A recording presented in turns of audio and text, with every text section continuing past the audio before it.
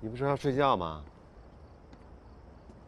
洗漱用品都没了，没办法洗澡，怎么睡啊？噔噔噔噔，就知道你没有。这是我在 VIP 休息室他们送的，免费的，还好在我包里没丢，拿去。别生气了，没有生气了，早就气完了。我只是想到刘在和说过好多次我们要来这里旅游。他说啊，要让我在这里当一次的西西公主。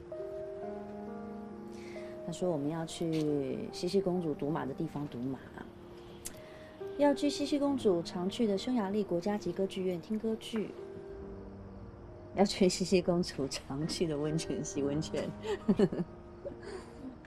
所以啊，我刚到这边来的时候，就一直抱着一个要当一次西西公主的梦想。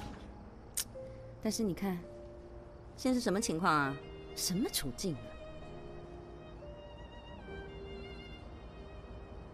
我懂你说的那种感觉，谁还没憧憬过啊？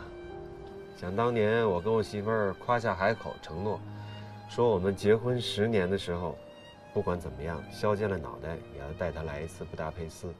你知道为什么吗？因为我媳妇儿喜欢布达佩斯，她觉得这里是世界上最浪漫的地方。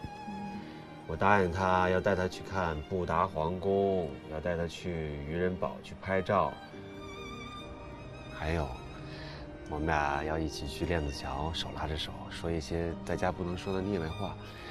但凡能在百度上看到的地方。我们都要去一遍。哎，足。我特别想问你个问题。嗯。你说生活是什么？生活不就是过日子吗？吃喝拉撒睡，老婆孩子热炕头，柴米油盐酱醋茶，就是这么简单俗气。真没劲，我才不要这样的生活。那你想要什么样的生活？爱情啊，脸红心跳，成就感，嗯。累的时候有人疼，病的时候有人陪，二十四孝，随传随到。你说那是机器人，估计到二零二六年啊，有点钱你就能买那么一款高级智能人夫型机器人，开关一打，输入程序，滴，包您满意。但是晚上如果想抱一下，你可别觉得冷。再高级的智能人，再仿真的皮肤，它内核里都是金属夹子。男人都是一样的，心都是金属做的。唉，就没有一个是例外的吗。我呀，我希望我是那个例外。你干嘛这么看着我？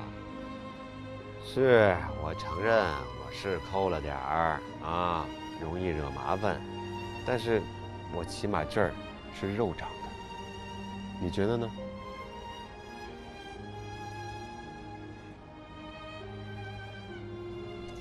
我觉得你，爸。哦，那我先进去。嗯。